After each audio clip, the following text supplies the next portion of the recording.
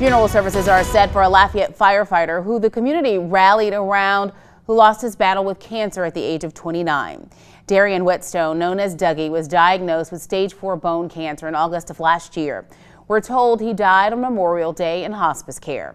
Earlier this year, the community came to his aid during a blood drive organized by fellow firefighters. He was a, just a wonderful firefighter, a wonderful person just to be around, and um, he contributed a lot to the fire department while he was here for the past nine and a half years. And uh, we just wish to the family and his wife and you know family members, you know, our deepest condolences. A funeral with full firefighter honors is set for Monday, June 3rd at 1 o'clock at Martin and Castille Funeral Home in Lafayette.